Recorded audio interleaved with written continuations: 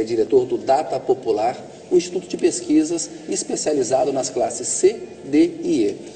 A gente falou há pouco do ex-presidente Lula, que ele consegue se comunicar muito bem com essa é, nova classe média, ele é até um, um pouco um exemplo é, para essa nova classe média. Eu me lembro de um artigo do ex-presidente Fernando Henrique Cardoso, dizendo que havia espaço para o PSDB se conectar com os setores é, dessa nova classe média, que podia disputar esses setores com o PT. Tem espaço para o PSDB entrar nessa disputa? Olha, é, a, a, classe média não é homogênea. A classe média, é, aliás, é bem heterogênea em, em alguns aspectos. Né?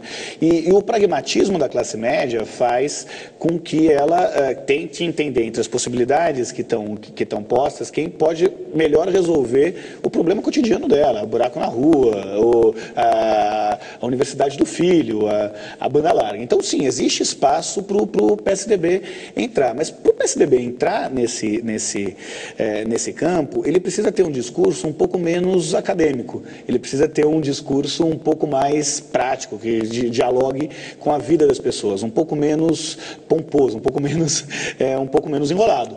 Um pouco menos político nesse sentido, um discurso mais pragmático, de resolver os problemas reais mesmo. É um, é um discurso de, de é, governo de resultado, na prática. Se ele conseguir é, ter esse discurso e, e, mostrar o seu legado, ele tem uma chance de conquistar a classe média. É, o que, que acontece? Boa parte da disputa nos últimos anos entre PT e PSDB se deu entre o legado do controle da inflação versus o legado da distribuição de renda e do consumo. O que, que acontece? É, como o Brasil é uma democracia de voto obrigatório, todos votam. Só que o, o eleitor mais velho é, é, foi é, foi perdendo espaço para uma nova geração de eleitores, que são eleitores mais jovens, que não viveram o legado da hiperinflação, mas viveram o legado da democracia do consumo. Então, isso fortaleceu o PT eh, nos últimos anos. Eh, a disputa agora, qual será o próximo, eh, o próximo legado? E, na sua opinião, qual será o próximo legado? Olha, a democratização da, das comunicações e da, e da internet e, e, o acesso ao ensino superior vai ser o legado que conquista os jovens dessa nova classe média brasileira. Porque ele não tem apenas um efeito sobre os jovens, ele tem um, feme, um efeito sobre todos, o, o, sobre todo o restante da família. A gente acompanha, vira e mexe, as formaturas de, de, do primeiro universitário da família, de ter o primeiro doutor na família. E é um, uma emoção generalizada. É, mães chorando, avó chorando, eu nunca pensei que eu ia ter um filho doutor. É, eu comecei a entender isso numa das primeiras pesquisas de campo no Data Popular, quando, quando eu fui morar na Coab 1 em Arthur Alvim, aqui em São Paulo, uma semana, e eu vi que tarde da noite é, bateram na porta, eram umas 11h30, meia-noite, é, e era a vizinha da, da, dona de casa que estava me recebendo, segurando uma criança no colo, molhada, suada, ela estava bem preocupada, falou, me ajuda, me ajuda. Falou, o que, que foi? Minha menina está com 40 graus de febre. E daí a dona de casa que estava me recebendo falou, o que, que você precisa? Você quer é, um dinheiro para ir na farmácia? Vamos vamos, no posto de saúde com você? Ele falou, não, é, eu sei que você está hospedando o doutor aí na sua casa. É, será que ele não pode olhar a, a menina?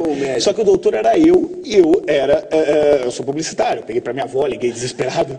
O que, que, eu faço? Mas o que, que significava aquilo? O que, que você fez? Eu liguei para minha avó, obviamente. e ela, e ela falou, ah, dá, dá, dá um antitérmico que resolve.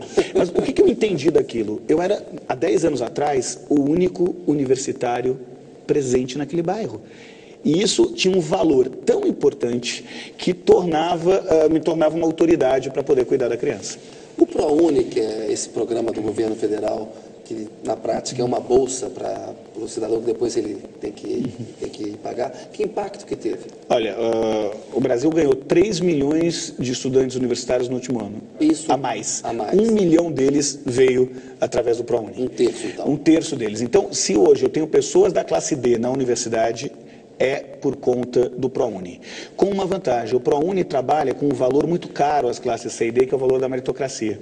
Você não ganha o ProUni se você for indicado por alguém. Você ganha o ProUni pelo seu desempenho escolar. Óbvio que é só para quem precisa, mas uhum. para o seu desempenho escolar. Então, além de tudo, ele incentiva a meritocracia. O próximo desafio é garantir que as faculdades que oferecem as bolsas do ProUni tenham uma qualidade que, de fato, faça com que a pessoa que se forme no, no, no ensino superior saia qualificado como como qualquer É, pessoa porque que essa é outra crítica torta que se faz ao ProUni, né? Você fala assim, ah, mas o cidadão vai para uma faculdade que não é boa. O problema não é o cidadão ter ido para a faculdade, o problema tem que ser como é que nós melhoramos essa faculdade. né? Claro, e, e- e é engraçado porque é, todo mundo já ouviu ah, alguém mais velho falar, ah, mas na minha época eu aprendia latim no colégio. todo mundo, não sei exatamente para que ele aprendia latim, mas ele- ele aprendia latim. E hoje a educação é muito pior. De novo, depende do ângulo que você vê. Se você compara a qualidade do ensino superior eh, eh, de 20 anos atrás com a qualidade do ensino superior de hoje, eh, de fato, eh, talvez no, no- eu tenha alguns elementos no, no passado em que a qualidade do ensino superior era melhor. Agora, se eu comparo a média do Brasil, só que eh, a média do Brasil, eu tenho muito mais estudante universitário estudando hoje do que eu tinha no Mas passado. não é por isso porque massificou Claro, e aí então, a média piorou. na- na- exatamente por isso, na média piorou. É igual quando eu tenho a renda da, da, da classe C cresce, é, cai quando entra gente da classe D, porque ele entra puxando para baixo, ele não entra puxando para cima. Eu não estou dizendo que a gente tem que estar satisfeito com a qualidade do ensino. Cada vez mais precisa ser rigoroso na qualidade do ensino. Agora, é inegável que o Brasil melhorou muito também no campo educacional. Você falou que esse jovem aí é, que está na universidade presta atenção à meritocracia, é, ele é um formador de opinião pública. Quando ele sai para o mercado de trabalho depois, que tipo de cidadão maduro ele é? Você tem uma pesquisa que, que, que A gente, a gente fez recentemente uma, uma comparação entre eh, a mudança do perfil do estudante universitário, sobre uma série de aspectos. Mas o que mais me chamou a minha atenção é que, se há 20 anos atrás o cidadão saía da universidade, e qual era o sonho dele? Entrar numa empresa e se aposentar na mesma empresa, era construir carreira dentro de uma, de uma empresa. Há 10 anos atrás isso mudou. Eh, ele queria entrar numa empresa agora, daqui a seis meses está em outra empresa, conseguiu um emprego melhor e daqui a um ano está em outra empresa. Hoje, 55% das pessoas que saem da faculdade saem querendo abrir o próprio negócio, ser empreendedor, ser dono do próprio nariz. E isso muda um perfil, diagnostica um uma mudança no perfil desses brasileiros. E isso é perfil o fantástico. que mais o que mais É um perfil mais empreendedor, é um perfil mais otimista, é um perfil mais ousado. Né? É, o, o brasileiro, pelo quarto ano consecutivo, é, é considerado a população mais otimista do mundo. E esse otimismo leva ao empreendedorismo. Então, sem medo de errar, se foi a carteira assinada que nos trouxe até aqui, será o empreendedorismo que nos levará adiante. daqui a 20 anos Seremos um, um país com grandes micro e pequenas empresas eh, sustentadas eh, que, e gerando a maior parte dos empregos. Você vê esse processo, então, Renato, de, de crescimento no sentido eh, positivo, de enriquecimento do país, de aumento da nova classe média, de melhoria, assim, uma coisa por duas, três décadas? Isso Ah, sem, sem medo nenhum de errar, por, por alguns aspectos muito eh, práticos. Está acontecendo mais ou menos o que aconteceu nos Estados Unidos ali no pós-guerra? É parecido ou não? É, é um movimento muito, muito semelhante ao que aconteceu na década de 50 e 60 no- no- nos Estados Unidos, mas com, com, com uma mudança eh, demográfica somada a isso. Eh, então, eh, eu tenho a maior concentração de jovens em idade eh, economicamente ativa, e isso está concentrado na classe média brasileira. Eh, eu tenho um- uma democratização eh, da escolaridade desses brasileiros, e num país de, de democracia de voto obrigatório, ter uma política de aumento real do salário mínimo garante um crescimento sustentável também da economia baseado em distribuição de renda. Renato, um corte moral, um corte dos valores aí desse jovem ou dessa nova classe média. Por exemplo, esse estudante eh, formado ou, ou o estudante que ainda está tá na universidade, um corte religioso, ele é mais católico, ele é mais evangélico? O, o que a gente tem visto é que quanto menor a renda, maior a participação de evangélicos. É, mas não é só isso. Quanto menor a renda, também maior a frequência à igreja, seja de qual denominação. É, os católicos de baixa renda frequentam mais a igreja do que os católicos de alta renda. Os evangélicos de baixa renda é, frequentam mais a igreja do que os evangélicos de, de alta renda. Você tem alguma explicação por que há mais eh, evangélicos? É, sim, a gente tem estudado bastante isso, tem, tem, tem um conjunto de, de- de explicações antropológicas, mas do ponto de vista de consumo tem um, tem um motivo muito prático, que é a lógica de crescer pelo próprio mérito. né? É, imagina, São Paulo tem 5 milhões e meio de nordestinos, pessoas não são filhos de imigrantes, são migrantes que, que nasceram no Nordeste e moram aqui. Ele veio para cá e ele não tinha amigos, ele não tinha uma rede social, ele foi trabalhar na construção civil muitas vezes é, e, e- e não conseguia se desenvolver socialmente. Daí ele entrou um dia numa, numa garagem do- da comunidade onde ele morava, que era uma pequena igreja evangélica. Pequeno. E lá falaram que ele vai vencer na vida, que ele não era um perde- perdedor, que ele era um vencedor, que, que graças à, à ajuda de Jesus ele ia vencer, ele ia conseguir ganhar mais dinheiro.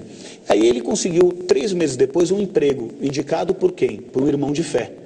Que prefere indicar um irmão de fé do que alguém que, que, que é de outra congregação. Ele arranjou um emprego formal, ele voltou a estudar. Seis meses depois, ele casou com, com, com, uma outra pessoa da uma mesma, irmã. com uma irmã. E aí aconteceu o que os economistas chamam de diluição dos custos fixos. Ele casa. E aquele gasto que era o individual passou a ser um gasto coletivo. Então a vida deles efetivamente melhora. Então essa teologia da prosperidade é, é que que é, está presente em boa parte das congregações evangélicas também funcionam como uma alavanca para o desenvolvimento é, é, econômico dessas pessoas. E na hora que isso se reflete, por exemplo, em questões é, morais como é, aborto, por exemplo. A gente tem uma legislação hoje que o aborto é permitido apenas em dois casos: quando há é, risco à saúde da gestante ou quando a gravidez é resultado é, de um estupro.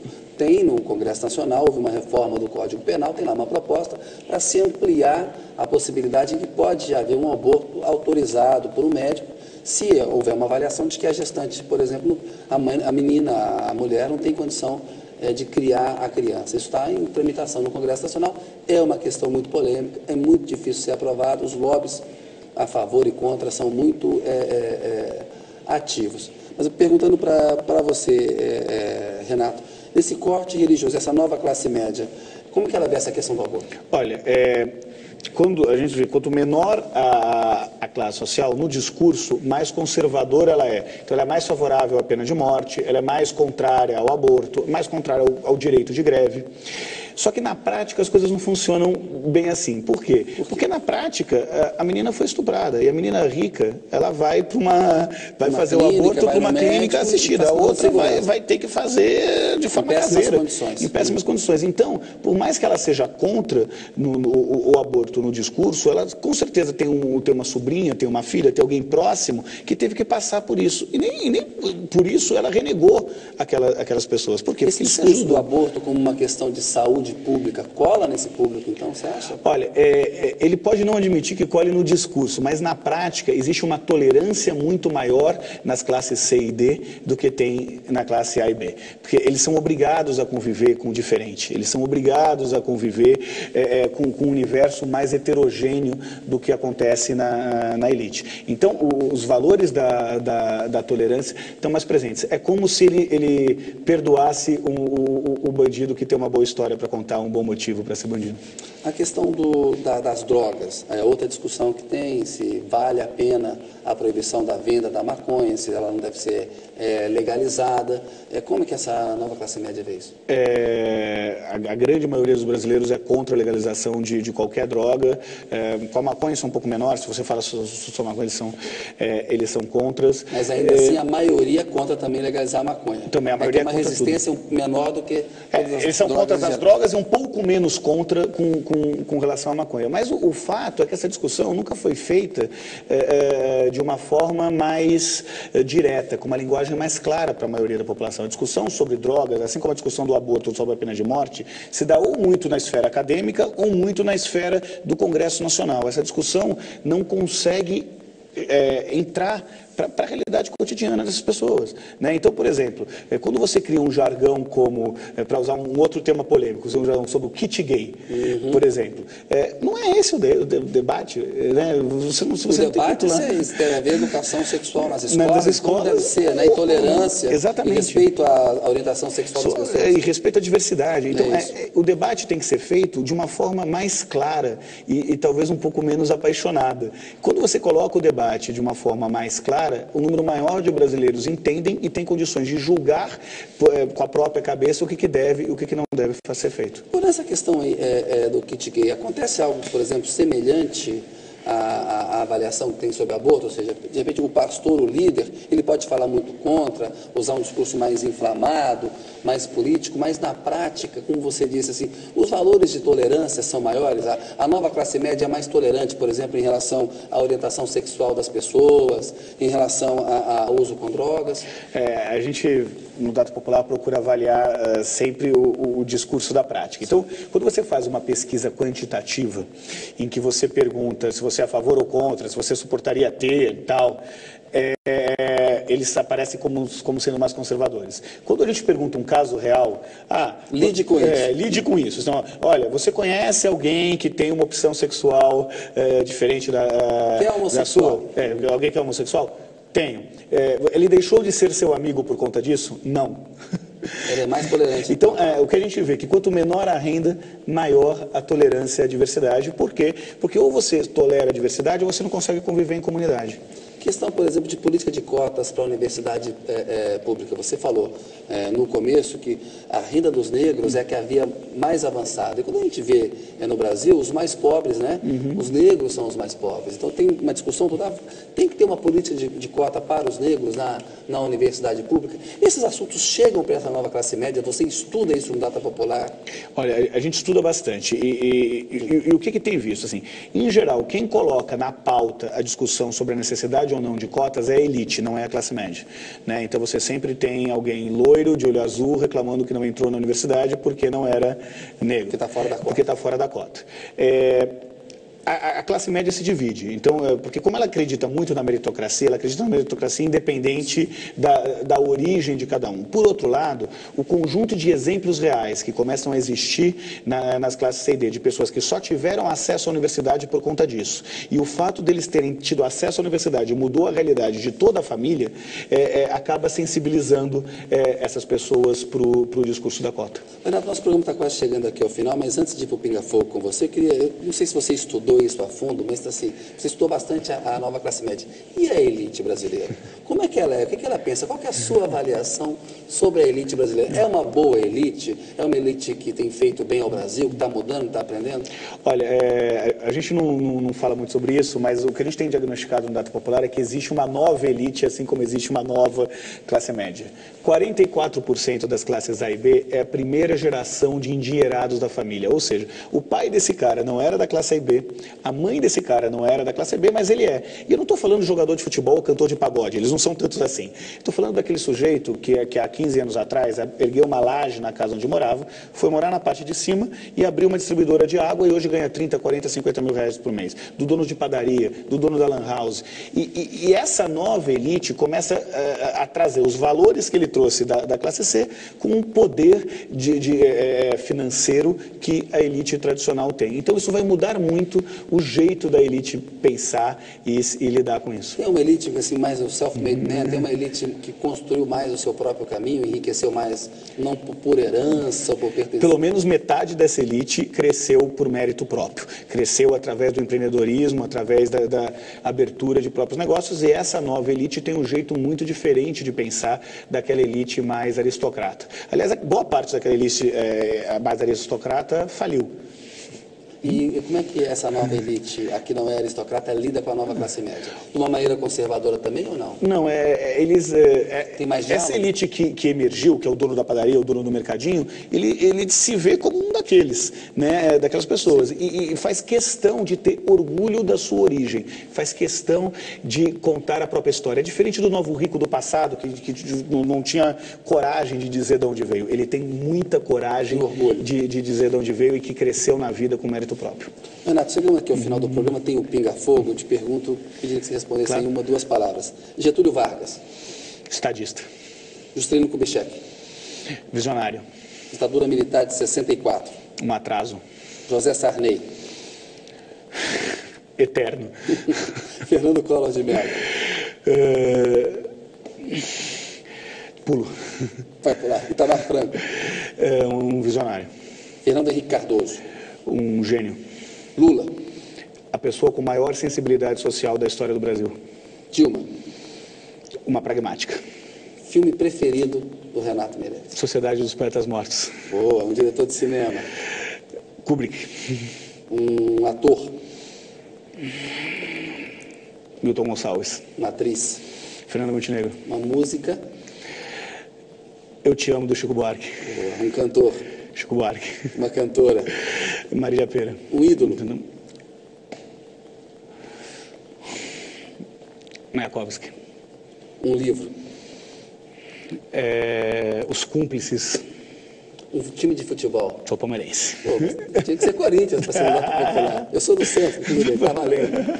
A nova classe média está em todos os times. Uma frase, um pensamento do qual você gosta, Renato, pode ser um verso, um poema? Hum... Sonho que você sonha só, só sonho, sonho que se sonha junto é realidade. Legal. Renato, Prazer. Um abraço, prazer. Obrigado pela entrevista, foi ótimo. Boa noite para você. Obrigado. Obrigado. É a notícia boa.